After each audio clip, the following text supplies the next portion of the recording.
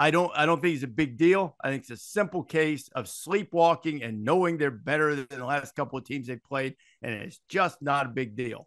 David Pollack, your thoughts? Well, okay. Here, here's what I'll say about that.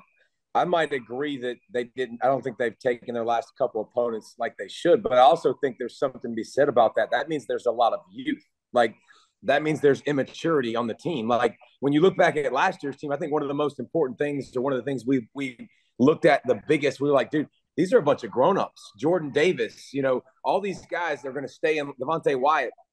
They're going to stay in line. They're going to stay on task. They're going to stay focused. Nakobe Dean, they're going to cover the small things that are very important to win. I think now you got a lot of youth. And what happens with youth? You wake up, some days you feel good, some days you don't. Some days you really want to play, and some days you don't. Some days you're really motivated. And so I, I don't think it speaks well um, for the maturity of the team. For for I think it, the offensive line got absolutely manhandled, which is a mm-hmm. big problem. You need balance. You got to be able to run the football. I think there's an issue at at left guard. I think um, you know they they got to find they've got a bunch of running backs going. I think they need to find their best one or two maybe and stick with their best one or two.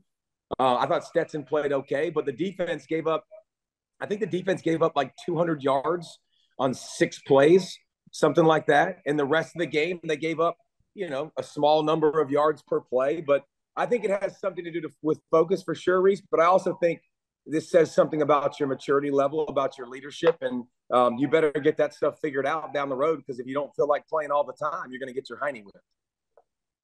So, you know, as we've sort of crafted the narrative of Georgia attempting to replicate Alabama's consistent dominance, and they have a long way to go. I want to be clear about that. But after that Oregon game, I, I among many people were like, "Oh, okay, maybe they can just roll this out after was it 17 draft picks, David? 17 NFL draft picks, 15? Yeah, 16 It was a record. Yeah, 16 or it was a record. They had more players drafted than any team in the history of college football. So it's like, can you just roll this out again? And the thing that I've always found the most fascinating about what Saban has done as Alabama is he's talked about fighting human nature.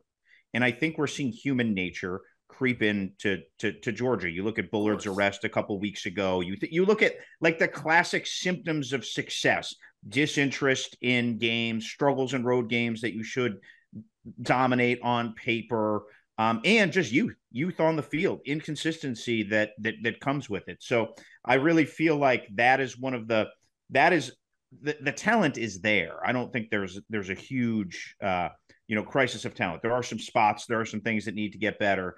Um, but I really feel like human nature is Georgia's biggest enemy right now.